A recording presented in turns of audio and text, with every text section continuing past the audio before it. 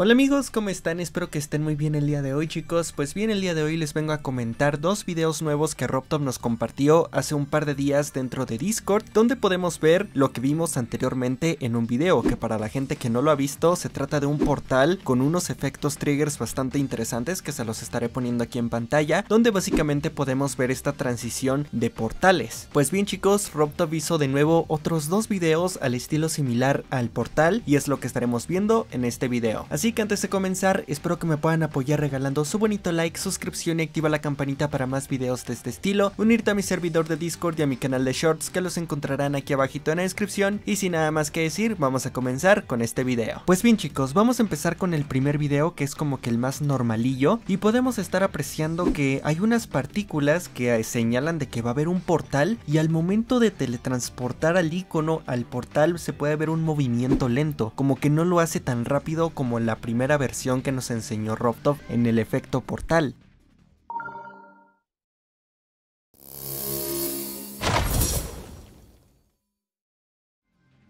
Podemos ver que este se tarda ya un poco más, tenemos una transición de partículas, después este trigger del portal y ya después una dimensión que hace como que el icono ver un poco más grande, un poco más chico y al final se transporta el icono a donde estaba el portal. Esto está bastante genial al momento de crear algunos checkpoints dentro de niveles del modo plataforma o también chicos al momento de iniciar un nivel, o sea que te teletransporte yo que sé un portal, que estés de repente en un nivel y que te teletransporte a otro, o sea va a estar bastante genial. Imagínense las creaciones que vamos a estar viendo para la 2.2 con este tipo de efectos. Y bien chicos, ahora vamos a pasar con el segundo video que es el más interesante, el más llamativo, el más importante. Y pueden darse cuenta chicos que todo inicia con una estructura de bloques en la cual se puede ver chicos que de repente aparece el portal y destruye todos los bloques como que los explota. Y ya después de esto chicos cambiamos a un fondo de background diferente y podemos ver el icono, podemos estar apreciando el icono.